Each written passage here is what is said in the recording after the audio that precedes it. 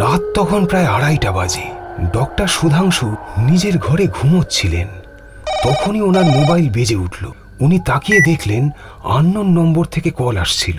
প্রথমে তো উনি মোবাইল সাইলেন্ট করে দিলেন, কিন্তু যখন আবার মোবাইল বেজে উঠল, তখন তিনি ভাবলেন হয়তো কোনো ইমার্জেন্সি কল।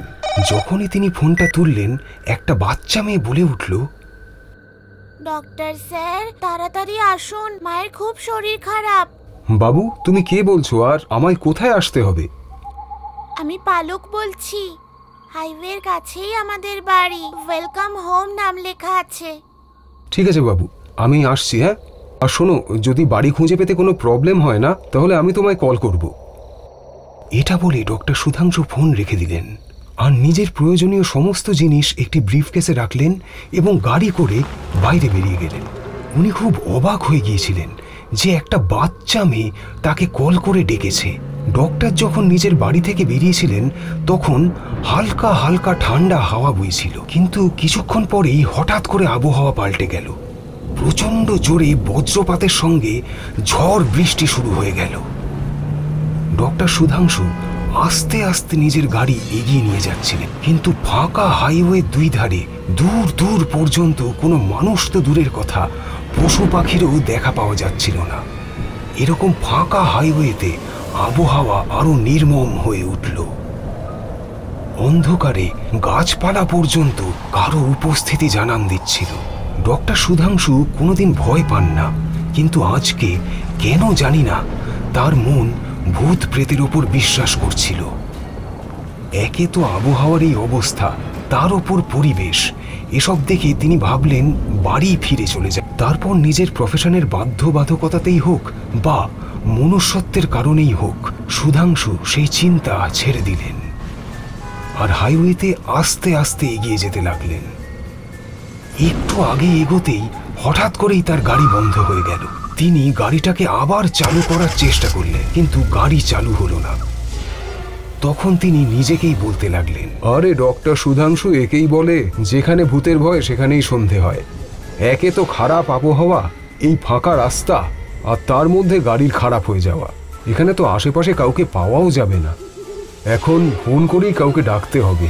সুধাংশু মেকানিককে কল করার জন্য ফোন হাতে নিতেই মোবাইল চার্জ শেষ হওয়ার জন্য হঠাৎ করে বন্ধ হয়ে গেল। উনি গাড়িতে চার্জারের পিন খুঁজে মোবাইল চার্জে বসাতেই পিনে হঠাৎ করে শর্ট সার্কিট হয়ে গেল আর পুরো তার জ্বলে গেল।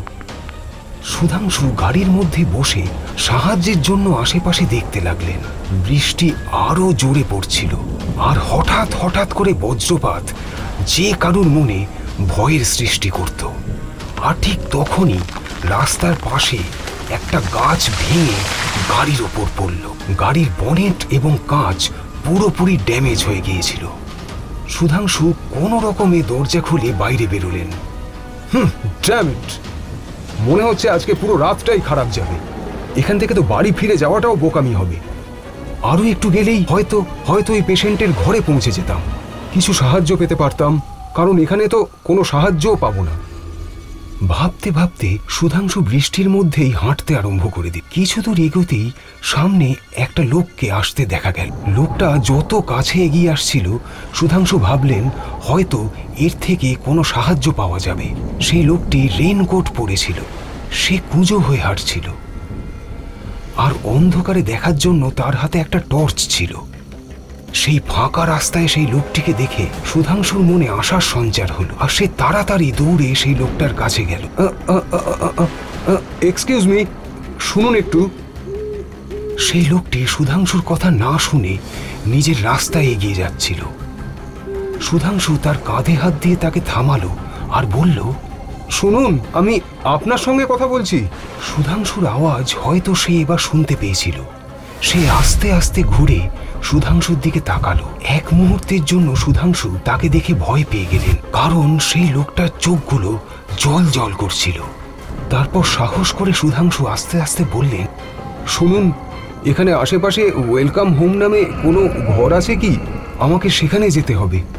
সুধাংশুর এই কথা শুনে সেই লোকটি সোজা হয়ে গেল আর রেগে রেগে সুধাংশুর দিকে তাকালো। আরে আপনি তো আমার কথা জবাব দিলেন না। ওয়েলকাম হোমে কে ডেকেছে তোমায়?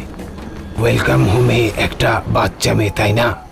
সেই বুড়ো ভদ্রলোকের কথা শুনে সুধাংশু অবাক হয়ে তার দিকে তাকালেন। হ্যাঁ ঠিকই। একটা বাচ্চা মেয়েই ডেকেছে। চলে যাও এখান থেকে। কেউ অসুস্থ না সেখানে। যদি সেই ঘরে পৌঁছে যাও তাহলে তোমার মৃত্যু নিশ্চিত। চলে যাও চলে যাও এখান থেকে। আরে এটা কি করে হতে পারে? আমার কাছে ফোন এসেছিল।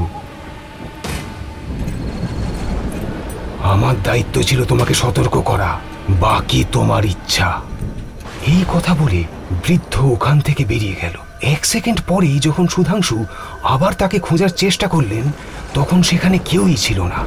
সুধাংশু নিজেকেই বিশ্বাস করতে পারছিলেন না। তাহলে কি সে নিজের সঙ্গেই কথা বলছিলেন? উনি কিছুই বুঝতে পারছিলেন না। উনি ধীরে ধীরে আগে এগোতে লাগলেন। এবার বৃষ্টি আস্তে আস্তে বন্ধ হয়ে গিয়েছিল। ভয়ঙ্কর ঝড় আস্তে আস্তে হাওয়ায় পরিণত হয়ে গিয়েছিল। চারিদিকে শুধু নিস্তব্ধতা ছিল। এরকম নিস্তব্ধতা এর আগে কোনোদিন সুধাংশু অনুভব করেননি। আর ঠিক তখনই তিনি একটা শব্দ শুনতে পেলেন। যেন কেউ তার আশেপাশে আছে। উনি নিজের চারপাশে তাকালেন। কেউই ছিল না সেখানে।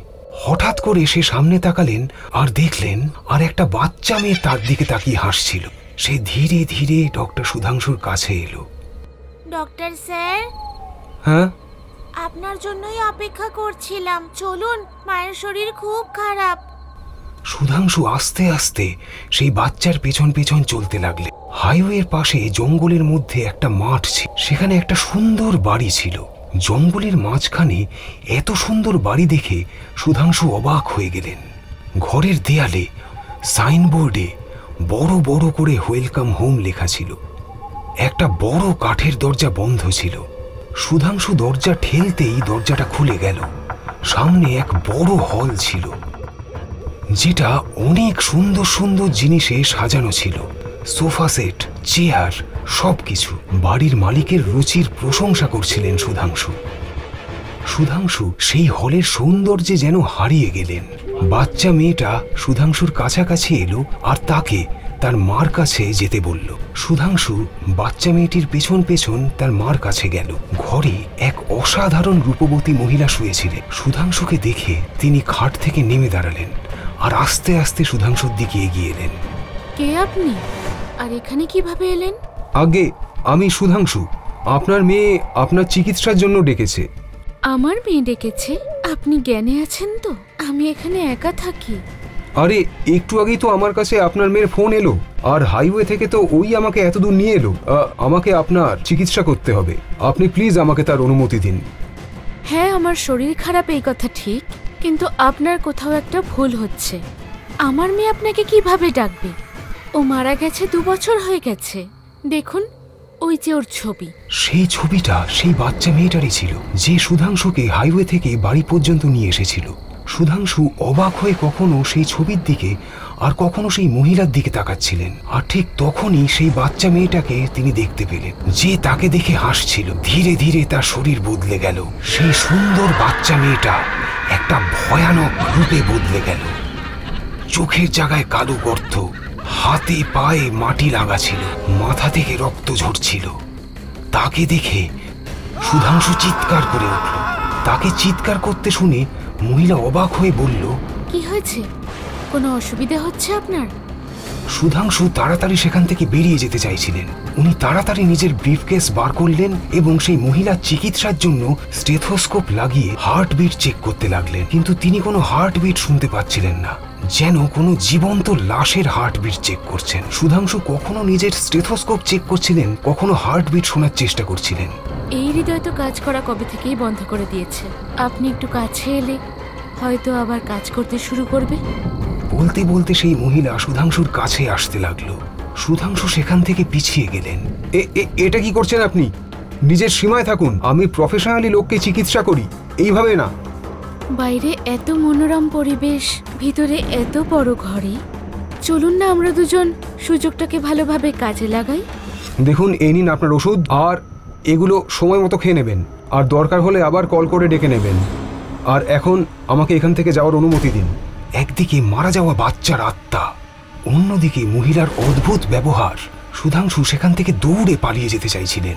আর ঠিক তখনই সেই সুন্দরী মহিলা সুধাংশুর সামনে ভয়ঙ্কর ডাইনি রূপে বদলে গেল। তার মুখ এত ভয়ানক ছিল যে যে কেউ ভয় পেয়ে যাবে। আর সেই সুন্দর ঘর একটা পোড়ো বাড়িতে বদলে গিয়েছিল। একদিকে ডাইনি দাঁড়িয়েছিল আর অন্যদিকে ছোট্ট বাচ্চার আত্মা। সুধাংশু কিছুই বুঝতে পারছিলেন না যে এবার তিনি কি করবেন। অনেক দিন পরে একজন সৎ ভালো মানুষ সামনে এসেছে। যাও তোমায় মুক্তি দিলাম। এসব কি? আমাকে ফোন করে এখানে ডাকলেন কেন? অনেক দিন আগের কথা। আমার স্বামী আর আমি শহর থেকে বহু দূরে নিরালায় শান্তিতে থাকার জন্য এখানে একটা বাড়ি বানাই। স্বামী কোনো একটা কাজে অন্য শহরে গেছিল। এক রাতে আমার শরীর হঠাৎ করেই খারাপ হয়ে যায়। পালক তখন ডক্টর ডেকে আনে, কিন্তু ডক্টর আমার চিকিৎসা না করে আমায় একা পেয়ে আমার সাথে জোর জবরদস্তি করতে থাকে। পালক আমায় বাঁচাতে এলে উনি পালককে সজোরে দেওয়ালের দিকে ধাক্কা মারেন। সেই জন্য ওর মাথায় জোরে আঘাত লাগে আর ও মারা যায়। ওর মৃত্যুর পরে ডক্টর ভয় পেয়ে যান। আর ওই ভয়ের কারণে উনি আমাকেও মেরে বাড়ির পিছনের বাগানে কবর দিয়ে দেন। যখন পালকের বাবা শহর থেকে বাড়ি ফেরে, আমাদের দুজনকে খুঁজে পায় না। ওই ডক্টর আমাদের দুজনের নামে ওর মনে বিষ ভরে দেয় যে আমি ওকে ছেড়ে কোথাও চলে গেছি। আমাদের মায়া কাটানোর জন্য পালকের বাবাও এই বাড়ি ছেড়ে চলে যায়। সেদিন থেকে আজ পর্যন্ত পালক আর আমি প্রত্যেক ডক্টরের থেকে প্রতিশোধ নিই। কিন্তু আপনি প্রমাণ করে দিলেন যে মানবিকতা এখনও বেঁচে আছে। চলে যান এখান থেকে। সুধাংশু ঘরে ফিরে আসার পরে কিছুদিন পর্যন্ত পালক আর তার মার ব্যাপারে ভাবছিলেন। তারপর খোঁজ করে তিনি পালকের বাবার খোঁজ পেলেন আর ওনাকে সব সত্যি কথা বললেন। ঘরের উঠোন থেকে ওনাদের লাশ বার করে যখন অন্তিম সংস্কার করা হলো, তখন পালক আর ওর মার আত্মা শান্তি পেল। আজও পর্যন্ত সুন্দর ওয়েলকাম হোম পালক আর তার মার স্মৃতি তাজা করে আছে। আপনিও কোনো বাজে উদ্দেশ্য নিয়ে ওয়েলকাম হোমে যাচ্ছেন না তো?